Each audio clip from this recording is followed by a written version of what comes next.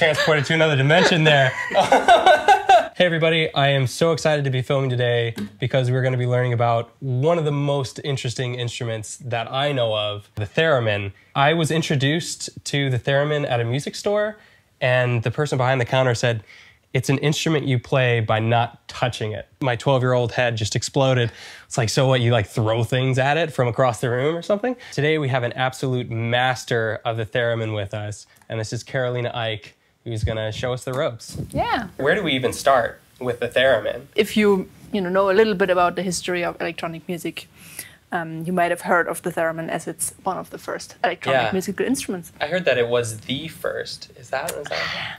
Mm, There I- was like this big machine there before, so I tend to say it's one of the first. Yeah. electronic. But it's yeah, it's it's pretty much the Mm-hmm. first. From my experience trying to play it, this is an extremely difficult instrument to master. You need a lot of self-control. Yeah. Not only the instrument is the instrument, but you, the body, your body is um, combined with the theremin. That means that you need to know your body very well, and um, every little movement changes the sound and the pitch. That's maybe what makes it hard. I like to think that it's as hard to play as any other instrument. Yeah. The theremin now is almost 100 years old, and that's kind of a short time for an instrument, which is really different from any other instrument. Yeah, so it needed, yeah. needed a long time um, to develop a playing technique.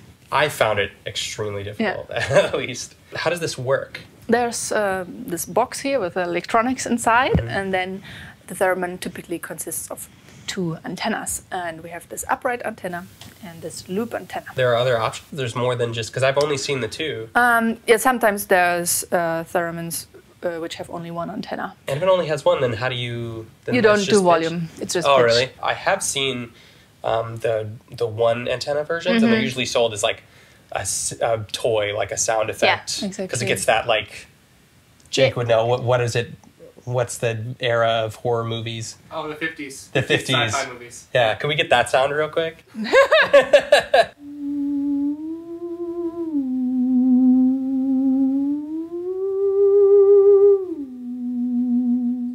yeah, Yeah, sounds like the Twilight Zone. yeah. So we can change the pitch with the right hand. If we go closer to this upright antenna, then the pitch gets higher. And basically everything um, which surrounds the theremin changes the pitch. Yeah. And that's difficult sometimes because um, if somebody moves around Yeah. here, your yeah your, your note is messed up. So, so you if, better if make you're in a band, you need to have your personal space. you need your space, player. and it's a very good excuse. so it's like you can um, shield the field. For example, if you put a music stand here, metal objects, um, all conductive materials Mm-hmm. influence the field more because um, we change capacitance. Water or metal, that that's what will change the, Huh. the capacitance. like maybe hold a note, Mm-hmm. and then if I'm a band member that doesn't know better, Yeah, whoa, Yeah. and I'm not, I'm pretty far away from it. yeah. So you really need your space. Yeah, I really need my space. But so on this side, it's fine. um, because on this side, we do the volume. Yeah. And when I go further away here, the volume gets louder. And because of the shape, um, of the loop shape, the antenna reacts differently. So it's more up and down. And to the side doesn't really matter so Oh, much. okay. So if, even if I'm like if I'm rocking out.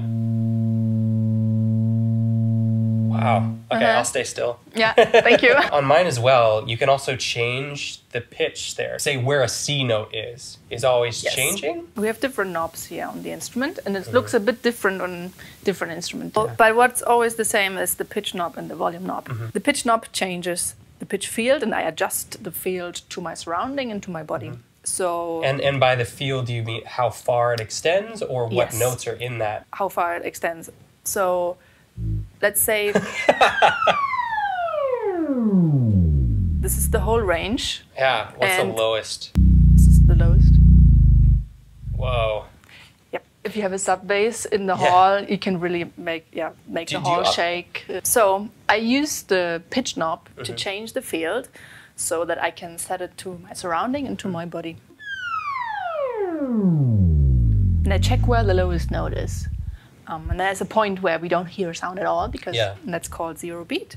I basically want the lowest note at my body. Uh-huh.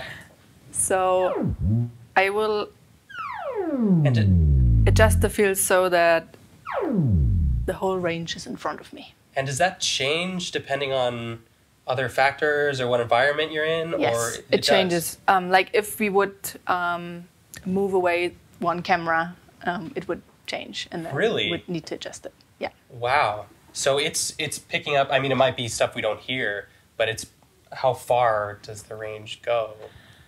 Theoretically endless, but then of course um, there are you know things in the way, so it will Yeah. stop the field. When you start to practice, you need to set up everything, then tune. So having like exact muscle memory of where, say, a C is, is just right out the window, unless you're always playing in the same room. So, no, you want to adjust the field. Oh, you so, adjust it so okay. So it's every time the same, so mm-hmm. that you know my C is here.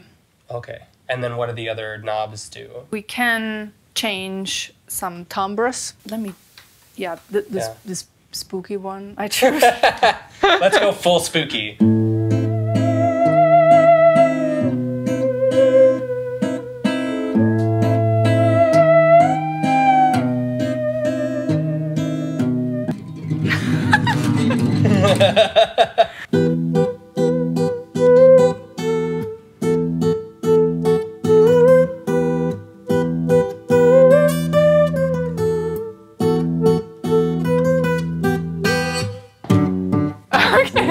that was awesome. I love the spooky setting. That's probably what most people know the theremin for. I would assume is it. Is well, I hope that changes. yeah, yeah, Let me show you a different setting. yeah. Um,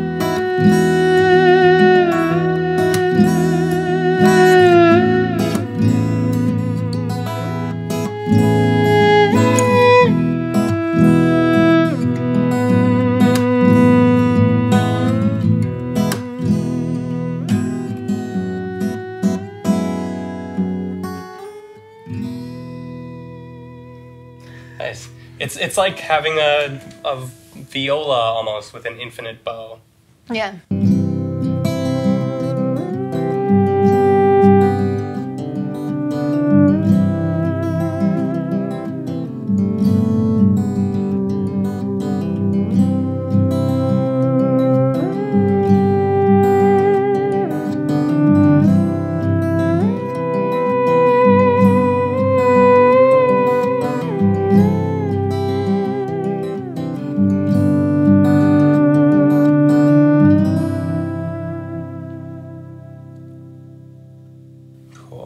Have this one I got a while ago. It just has waveform. Yes, so you can can choose your own um, sounds. On this one, you have five presets, and then you can choose your own sounds as well. What's your main sound that you use? This is the one I really use, uh, like almost Yeah. always, um, especially with classical music, like with classical and even guitar. You know, it really mixes well. Do you know "Somewhere Over the Rainbow"? Oh. No.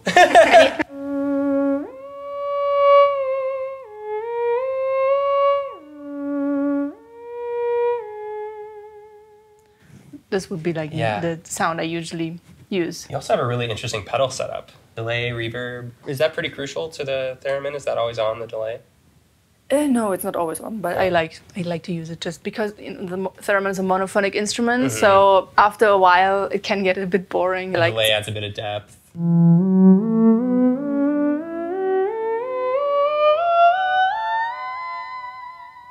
And then I have a harmonizer, which makes the monophonic instrument a polyphonic instrument.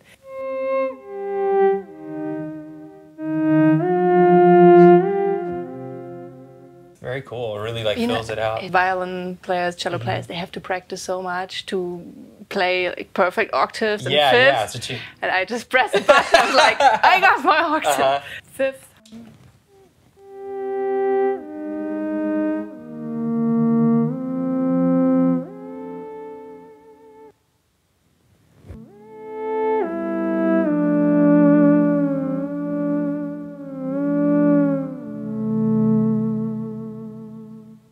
With all the knobs on there, essentially it's all just adjusting the tone. Then we have three different registers. We have the lower register, and the middle one, and the high one. And then we have where I change the timbres. These ones just adjust. It's also for the timbres, but it's more fine. Mm-hmm. Just more fine tuning. What is the technique to knowing where the where the notes are, how to get a half step, whole step? Our notes are everywhere. Yeah. right? You can play a note here, here. So when I play precise notes, I limit myself to one line, to one hmm. invisible string that goes from the antenna right straight to my body. Hmm. So on this line, we have all notes we need. Yeah. How I find the notes is that I will measure the air with my hand. I use one length of a hand as a measurement. I call this position one. And when I stretch out my hand, I have a length of a hand, Mm-hmm. uh, and that's position eight. And I want, or what I want to hear within these two positions is an octave, Oh, so, there's a whole octave just in just in this. just in one hand. Wow.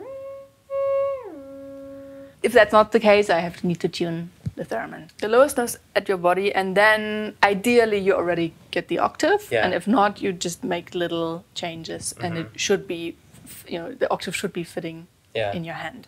And then this way, I can play all the octave in the whole range.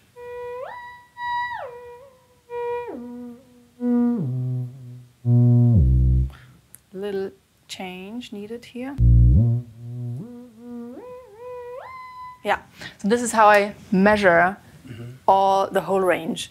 And then once I've done that, I can play a scale um, by just moving my fingers and without moving my arm to not mess up my measurement. Yeah.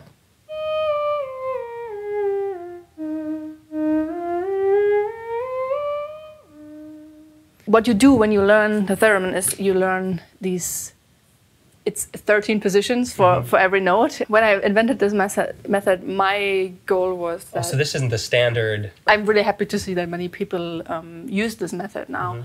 So my idea was that I do not have to hear a note um, in order to play it in tune. I know I Wow. got the right note just because I know my position. Up until now, I would have thought that that just wouldn't be possible on this instrument. Yeah. So you go from eight, and then five. From eight to five, you use only your fingers, Yeah. and then from five to one, you use the wrist Mm-hmm. and um, the fingers. You just learn step by step. So if you're in, I don't know, D major, If I if I uh, change the key, then I change the position. yeah, of, uh, and then you just have that muscle memory for all the notes. Mm-hmm. I hadn't, so that's how you have so much control of it. There are people who use a tuner, so you can you know see your note, and that that's very Oh, I- convenient. yeah, I could see how that would be Um, useful. For now, I, I just you know hear my note very quietly before I play, Mm-hmm. and then I know which note I'm starting on. I use the monitor only with the theremin, like not I I don't have any other instrument in my monitor. Mm-hmm. Yeah. When you play the guitar, you get some feedback from the guitar. Yeah, yeah. But I don't get any Yeah, there's feedback nothing here. resonating so here. I need yeah I need the monitor as as the instrument. I want to try to jam, get a good jam in Yeah, before, sure. and then I'll try to Yeah. uh, figure it out.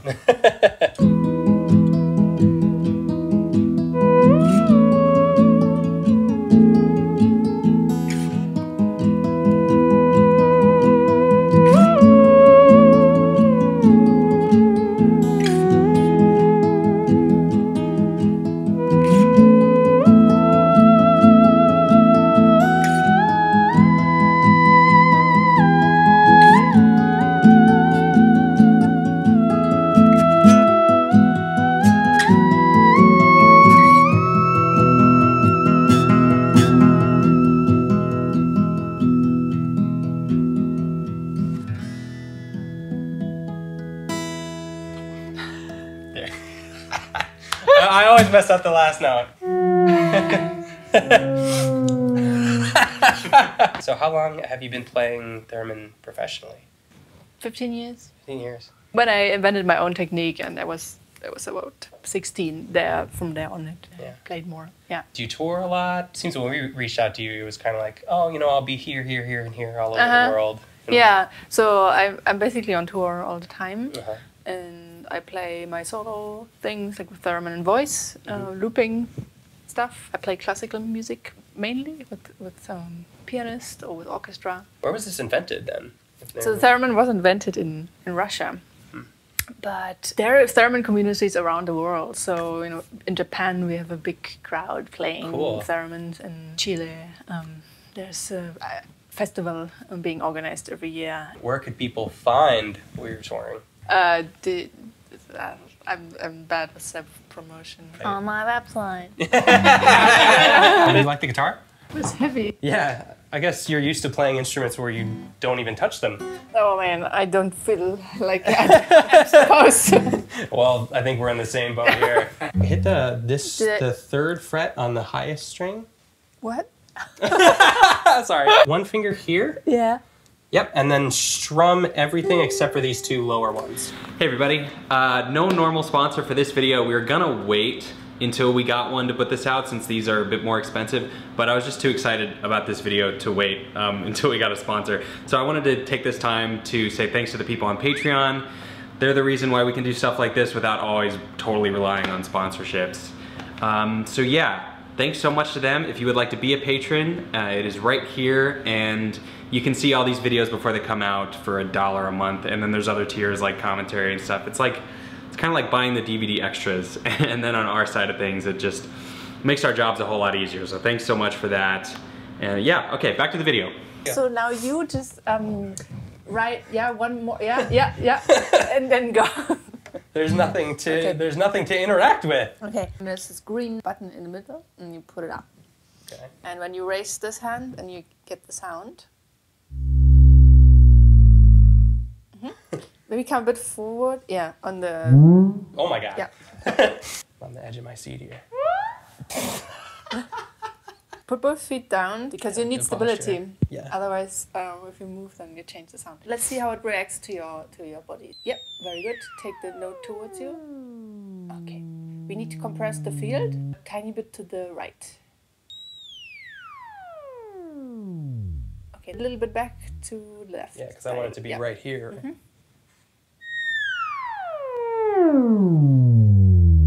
There you go.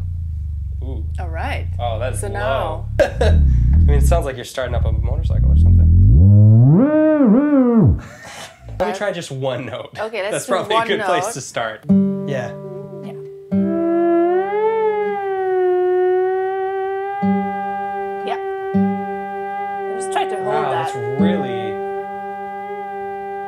If I move even a little bit, even if I breathe,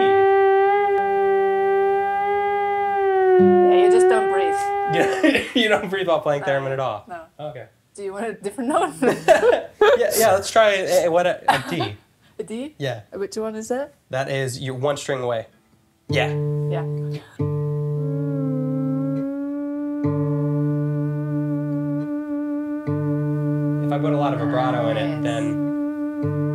The common way to cover up. yeah, it's just put a ton of vibrato in it. It's like the D's in there somewhere. Yeah, you know? somewhere. You- Can I get a G, uh, G chord? I'll tr- I'll try to do a melody. There you go.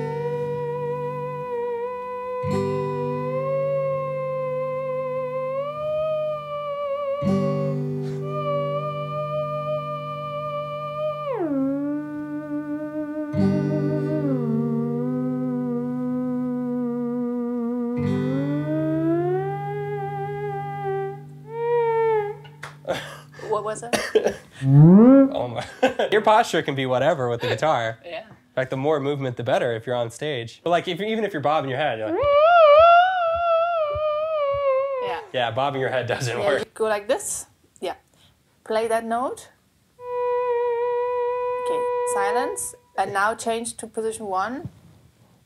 And play. Oh my god! Yes! Nice. That totally works. Right? Wow. Good. That's awesome. Shall we add some delay? yeah, yeah. Hmm. Let's add a whole chord. that slide with the chord is. That's whoa. Yeah.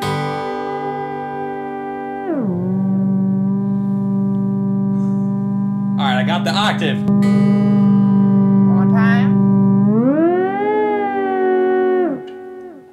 Keep it's it's just like when I was really concentrating on my hand movement, I was able to get it. But then, if I'm I find that if I'm concentrating on the sound, then I don't. This is unlike playing any other instrument I've ever played. Your body positions is what changes the note Yes. rather than mm-hmm.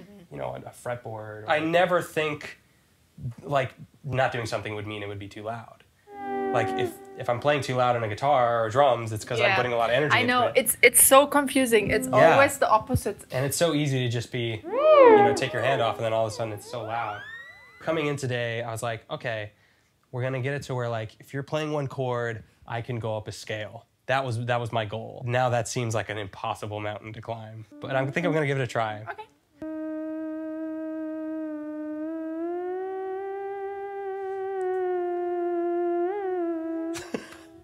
Uh, there, Ave Maria was in there somewhere. I recognize it. Yeah, I at least played it well enough to recognize it. Can you teach me different chord? Yeah, what else we got? C major seventh is my favorite chord. These two right there. Put your first finger on this guy, and then if you just strum through all the strings.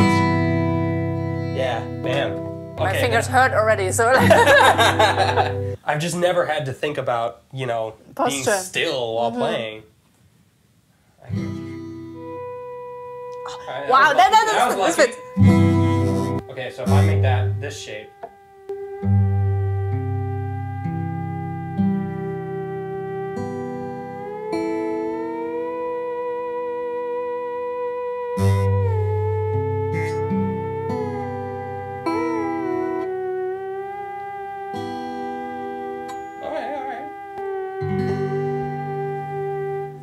That was that was pretty It's pretty good. Good start. yeah, yeah. We got one more in us. All right. Okay, maybe two strums of the G, two strums of the C. You just give me a little like this. it's really hard for me to do anything. Yeah. I mean, maybe I'll just blink at you. Yeah, yeah. A lot, when a lot of blinks, it's chord changes. All right, I'm ready.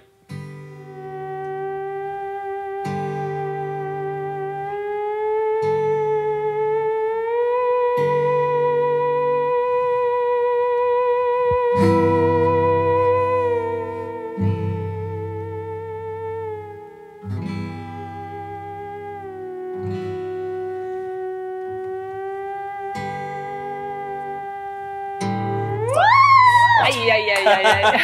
I think we, we got it. It's probably as good as I'm gonna do. yeah, same here. What I first did when I got my theremin, Mm-hmm. it was like a, a Patreon perk. Shout out to the people on Patreon. Thank you so much. And it was once it got to a certain amount, I would need to buy a theremin and make a song with it. Honestly, it was a lot of me doing this. And I had like spots on the ground where I could stand, where I could get like a few notes. Um, but the first thing I did with it was I plugged it in and just put it on the ground, and then put out some food for our cats to see how they would react to it. And it was a good time. Yeah. It was hilarious. I did that same with my bunnies. Yeah. oh, cool. Do your bunnies like it? Yeah, my bunnies can play it with their ears.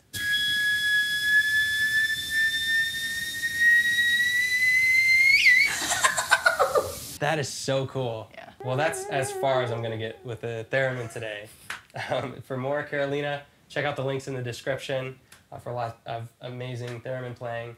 And we'll see you here on the channel soon if you'd like to subscribe. Also, shout out to the people on Patreon. Thank you so much. Uh, we'll see you soon. All right, I'm ending on a, on a, a really great performance.